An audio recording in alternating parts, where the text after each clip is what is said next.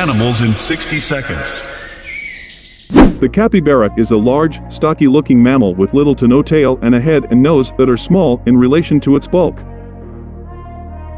In addition to the webbing, the capybara's short, strong limbs and hoof-like claws on its toes aided in swimming and navigating the slick banks. They also keep it from sinking too far into the surrounding muck. Their short, coarse fur is a variety of shades of yellow, red, and gray with a pale to dark brown base color and is well adapted to dry off rapidly once the capybara is back on land.